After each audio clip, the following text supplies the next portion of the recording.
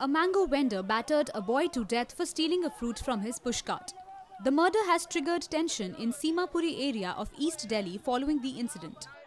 Police said that the boy was attacked with an iron rod after he took a mango from a pushcart while he was playing. The child was immediately rushed to a hospital where doctors pronounced him dead on arrival. A large contingent of police has been deployed to control the raged locals. The accused is on the run after the incident. मामला ये हुआ था कि 12 साल का बच्चा है, वो एक आम लेके भाग रहा था। तो उसी में उन लोगों ने चार पाँच जने रेडी वाले मिलके उसको इस तरीके से मारे कि वो आज खत्म होने के कगार पे है, खत्म हुआ है नहीं, हमें ये पता नहीं वो खत्म ही हो गया जहाँ तक खबर आ रहा है। मैं इतना जानता हूँ, सर। Powered by NNIS.